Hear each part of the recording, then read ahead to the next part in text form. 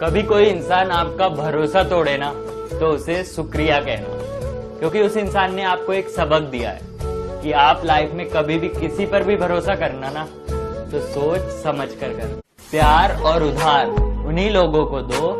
प्यार और उधार उन्हीं लोगों को दो जो लौटाने की औकात रखते हो। मेरे मरने पे लाख रोएँगे। मेरे मरने पे लाख रोएँगे। मेरे रोने पे कौन मरता है? तू हंसदार रे कर